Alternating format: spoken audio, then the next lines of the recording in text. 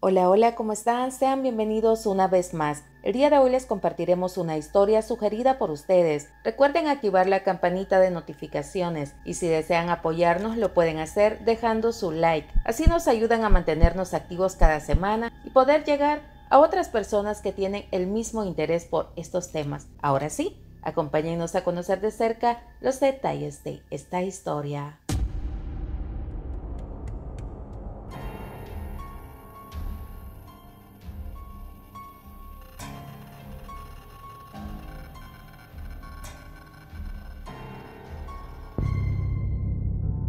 María Julia García, de 55 años de edad al momento de los hechos, nació y creció en Zacatecoluca, un municipio del departamento de La Paz en El Salvador. Vivía con su hijo, madre y hermanos. María Julia era una niña cuando sufrió parálisis cerebral infantil. Desde entonces tuvo problemas para caminar, dificultad para hablar y no tenía equilibrio en sus manos, por lo que le era difícil sostener cualquier objeto y padecía de retardo mental. Según sus familiares pensaba como una niña de 5 años. En el año 2011 fue abusada sexualmente. Producto de esa violación quedó embarazada. Cuando dio a luz, su hijo nació con discapacidad motora y mental. El domingo 22 de enero de 2023, mientras caía la noche, la familia de María Julia notó su ausencia. Su madre y hermanos la buscaron por los alrededores de la casa, le llamaban por su nombre, pero parecía que la tierra se la había tragado. En aquella humilde casa operaba la incertidumbre y desesperación. La madre preocupada lloraba al saber que su hija no aparecía por ningún lugar. La familia se organizó para buscarla en la comunidad. Recorrieron las calles con la esperanza de encontrarla, pero la angustia se apoderó de ellos cuando los vecinos les informaban que no la habían visto por la zona. Nadie daba referencia de ella.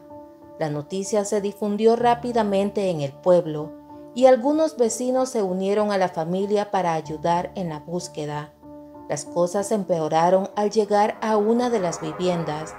Una persona manifestó que desde su propiedad pudo ver a María Julia afuera de la casa, cuando de repente dos hombres se acercaron a ella, la subieron a un vehículo, el cual se marchó con rumbo desconocido. El testigo aseguró que debido a la distancia que hay de su casa a la de la familia García, no pudo identificar quiénes eran aquellos sujetos y dijo que en ese momento no tenía idea de lo que estaba ocurriendo. Una sobrina de María Julia recuerda que ese día, mientras caía la noche, pasó frente a la casa donde vivía su tía. La vio sentada en una piedra que está a la orilla de la calle. La saludó y esa fue la última vez que ella la vio con vida. La familia concluyó con los dos testimonios que a María Julia la habían privado de su libertad. Lo extraño para todos era que ella era una mujer que nunca había tenido problemas con nadie y se les hacía raro que pese a su discapacidad alguien le quisiera hacer daño. Y es que sus vecinos ya conocían su forma de pensar y actuar, por lo que le tenían muchas consideraciones. Sobre este caso no existe información si la familia reportó la desaparición a las autoridades. Lo que sí queda claro es que ya habían pasado tres largos días de intensa búsqueda y no había una pista que ayudara a dar con el paradero de María Julia.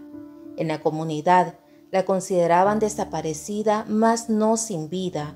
Pero la noche del 25 de enero, un desconocido llamó al hermano de María Julia para informarle que mientras caminaba por la finca La Providencia, unos niños corrían asustados. Cuando lo encontraron le dijeron que a pocos metros de distancia estaba el cuerpo sin vida de una mujer. Aquí quiero pedirles que me acompañen hasta el final para que puedan comprender el proceso de este caso. Pongan mucha atención a cada uno de los detalles. Cuando el reloj marcó las 9 y 30 minutos de la noche de aquel 25 de enero de 2023, la familia García se dirigió a la finca La Providencia para verificar si se trataba de su ser querido. Caminaron aproximadamente 200 metros del lugar donde María Julia había sido privada de su libertad. Al llegar al lugar, las lágrimas comenzaron a caer en las mejillas de la angustiada madre, tras descubrir la macabra y aterradora escena, donde se encontraba el cuerpo sin vida de su hija, quien había sido asesinada con lujo de barbarie. Lo que nadie comprendía es que ese lugar había sido rastreado los días de la búsqueda y el cuerpo no estaba allí. Vecinos reportaron el hallazgo a la policía, quienes inmediatamente se hicieron presentes al lugar para procesar la escena.